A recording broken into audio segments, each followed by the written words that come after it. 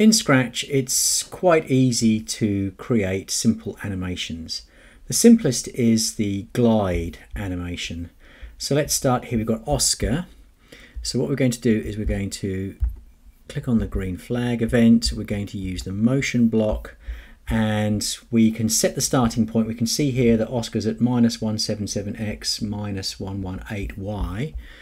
And on the go to block, uh, those numbers are put in ordinarily. That's where we want them to start every time. So we're going to start with that. And then we're going to glide Oscar to where we want him to stop. And again, his position changes and the blocks. So if we use the glide to a specific point block, which should mirror what's in here on the stage.